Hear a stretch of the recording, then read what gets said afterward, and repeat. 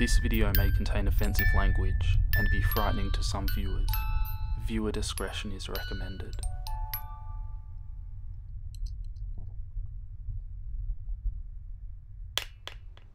It was a nice summer day. My five year old son James was playing outside in the backyard of our suburban home. James has always been a quiet boy. He plays by himself mostly. He never had many friends, but he has always had a wild imagination. I was in the kitchen feeding our dog Fido when I heard what sounded like James talking to someone in the backyard. I'm not sure who it was he could be talking to. Could he have finally made a friend? Being a single mum, it was hard for me to always keep up with my son, so I decided to go outside and check on him. When I went into the backyard, I was a bit confused, because James was the only person back there. Was he talking to himself? I could have sworn I had heard another voice.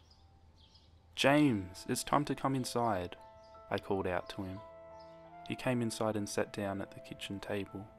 It was about lunchtime, so I decided to make him a turkey sandwich. James, who were you talking to out there? I asked. James looked up for a moment. I was playing with my new friend, he said, smiling. I poured him some milk and continued to pry, as any good mother would do. Does your friend have a name? Why didn't you ask him to have lunch with us? James stared at me for a moment before replying. His name is Laughing Jack. I was a bit taken aback by what he had said. Oh, that's a strange name. What does your friend look like? I asked, a bit confused. He's a clown. He has long hair and a big swirly cone nose. He's got long arms and baggy pants, with stripy socks, and he always smiles. I realised my son was talking about his imaginary friend. I suppose it's normal for kids at his age to have imaginary friends, especially when he has no real kids to play with. It's probably just a phase. The rest of the day went by as per usual, and it was starting to get late, so I put James to bed. I tucked him in, gave him a kiss, and made sure to turn on his nightlight before I closed the door. I was pretty tired myself, so I decided to go to bed not long after. Shortly after falling asleep, I had an awful nightmare. It was dark. I was in some kind of rundown amusement park. I was scared, running through an endless field of empty tents, broken down rides, and abandoned game huts. The whole place had a horrible look to it. Everything was black and white, and the prize stuffed animals hung from nooses in the game huts, all with sick, twisted grins stitched on their faces. I felt like the whole park was looking at me, even though there wasn't another living thing in sight. Then suddenly, I began to hear music play. The sounds of Pop Goes the Weasel being played on a squeezy box echoed through the park. It was hypnotizing. I followed its tune to the circus tent almost in a trance, unable to stop my legs from moving forward. It was pitch black. The only light came from a single spotlight shining on the center of the big top. As I walked towards the light, the music slowed down. I found myself singing along, unable to stop. All around the mulberry bush, the monkey chased the weasel. The monkey all in fun. The music stopped right before its climax, and suddenly the lights shot on. The intensity of the lights was practically blinding. All I could see was a small dark silhouette, slowly shuffling towards me. Then another one appeared, and another, and another. There were dozens of them, all coming towards me. I couldn't move, my legs were frozen. All I could do was watch as the haunting figures drew nearer. As they got closer, I could see. They were children. As I looked at each one, I noticed they were all horribly disfigured and mutated. Some had cuts all over their body. Others were severely burnt, and others missing limbs, even eyes. The children enveloped me, clawing at my flesh, dragging me to the ground and tearing inside me. As the children tore me apart, and I faded away. All I could hear was laughter. Horrible, awful, evil laughter.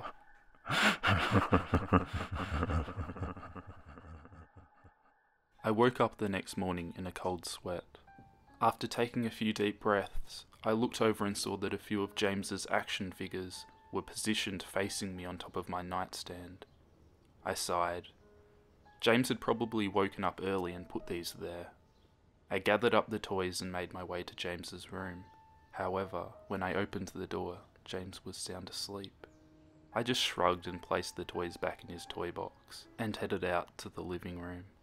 A little while later, James woke up and I made him his breakfast. He was quiet and seemed a bit groggy. Perhaps he didn't sleep well either. I decided to ask him about the toys. James, honey, did you put the toys in Mummy's room this morning? His eyes shot up at me for a moment, then quickly glanced back down at his cereal. Laughing Jack did it. I rolled my eyes and responded, Will you tell Laughing Jack to keep the toys in your room? James nodded and finished up his breakfast, then decided to go play out in the backyard. I went to relax in the living room and I must have dozed off because I woke up a couple of hours later. Shit, I need to check on James. I was a bit worried. It had been over two hours and I hadn't checked on him. I went out into the backyard, but James wasn't there anymore. I was getting nervous, so I called out to him, James! James, where are you? Just then I heard a giggle come from the front yard. I rushed through the gate around to the front of the house. James was sitting on the sidewalk. I breathed a sigh of relief and walked over to him. James, how many times have I told you to stay in the back of your. James? What are you eating? James looked up at me, then reached into his pocket and pulled out a handful of hard candies in all colours. This made me very nervous. James, who gave you that candy? James just stared at me, not speaking. James, please tell Mummy where you got that candy. James hung his head down and said, Laughing Jack gave it to me. My heart sunk. I kneeled down to look him in the eye. James, I have had enough with this damn Laughing Jack thing. He is not real. Now, this is a very serious situation, and I need to know who gave you the candy. I could see my son's eyes tear up. But, Mum, Laughing Jack did give me the candy. I closed my eyes and took a deep breath. James has never lied to me, but what he's telling me is impossible. I make him spit out the candy and throw the rest away. James appears to be fine. Maybe I'm just overreacting. After all, he could have gotten it from Tom and Linda from next door, or Mr. Walker down the street. Either way, I'm going to have to keep a closer eye on James. That night, I put James to bed as usual, and I decided to go to bed early myself. Suddenly, I was woken by a loud bang coming from the kitchen. I sprung out of bed and hurried down the stairs. When I got to the kitchen, I was horrified. Everything on the counters had been thrown on the floor, and our dog Fido hung dead from the light fixture. His stomach was cut open and stuffed with candy, the same type that James was eating earlier that day. My shock was quickly broken by a sharp scream coming from James's room, followed by loud crashes. I quickly grabbed a knife from the drawer and moved up the stairs with the speed only a mother whose child is in danger could have. I burst through the door and flicked on the lights. Everything in the room was knocked over and tossed on the floor. My poor son in his bed crying and shaking with fear, a pool of urine staining the sheets. I scooped my child up and ran out of the house and went next door to Tom and Linda's house. Luckily, they were still awake. They let me use their phone and I called the police. It didn't take them long to arrive, and I explained what had happened. They looked at me as if I was crazy. They searched the house, but all they found was a dead dog and two trashed rooms. The officer told me that someone had probably gotten into the house and done this right before making a quick escape when they heard me coming up the stairs. I knew it wasn't true. All the doors were locked and none of the windows were open. whatever was in my house didn't come from outside. The next day, James stayed inside. I didn't want him to leave my sight. I went into the garage and found his old baby monitor and set it up in his room. If anything comes into his room tonight, I was going to be able to hear it. I went into the kitchen and grabbed the largest knife from the drawer and put it on my nightstand. Imaginary friend or not, I'm not letting anything hurt my little boy. Soon enough, night came. I put James to bed. He was afraid, but I promised him that I wasn't going to let anything happen to him. I tucked him in, gave him a kiss, and turned on the nightlight. Before closing the door, I whispered to him, Good night, James. I love you. I tried to stay up as long as I could, but after a few hours I felt myself drifting off. My baby would be safe for the night, and I needed to sleep. Just as I lay my head on the pillow, I heard a soft noise coming from the baby monitor I had put on my nightstand. At first, it sounded like interference, like the kind of radio would make. Then it turned into a soft moan. Was James asleep? Then I heard it. The laugh from my nightmare, that horrible laugh. I sprung up from my bed and grabbed the knife from under my pillow. I rushed over to James's room and creaked the door open. I tried the light switch, but it wouldn't come on. I took a step in, and I could feel the warm, thick liquid on my feet. Suddenly, James's nightlight came on, and I could see the absolute horror laid out in front of me. James's body was nailed up on the wall, the nails piercing through his hands and feet. His chest was cut wide open, and his organs hung down to the floor. His eyes and tongue had been removed, along with most of his teeth. I was disgusted. I could hardly believe this was my baby boy. Then I heard it again the soft, desperate moan. James was still alive, my baby, my poor baby, in so much pain, barely clinging to life.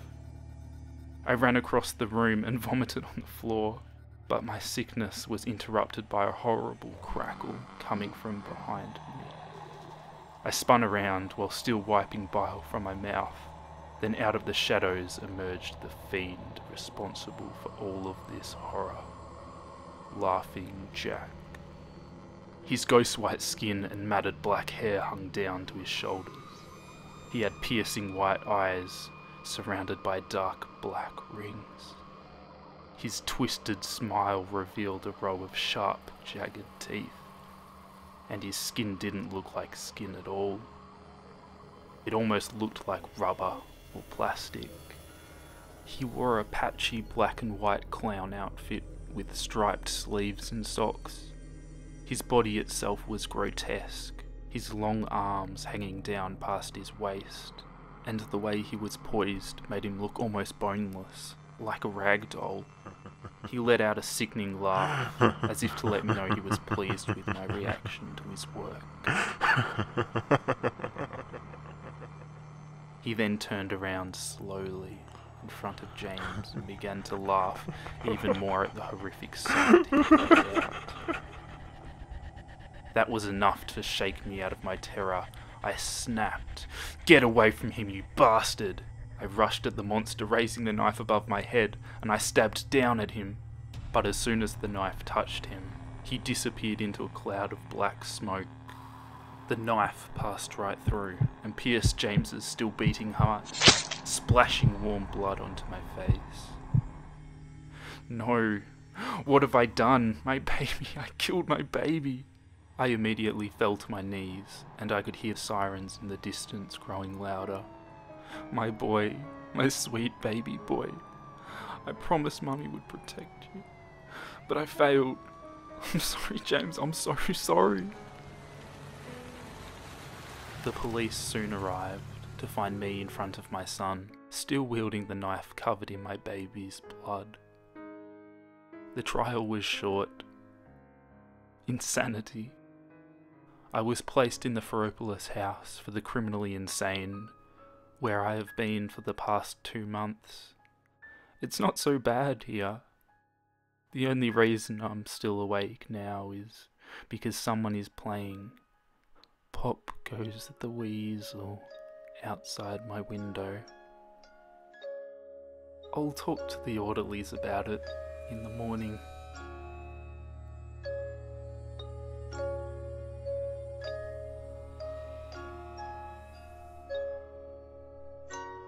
That it had no eyes, just empty black sockets. It was like looking into an abyss. I could feel the pain, hatred, and suffering. There was a black substance slowly oozing from out of the sockets.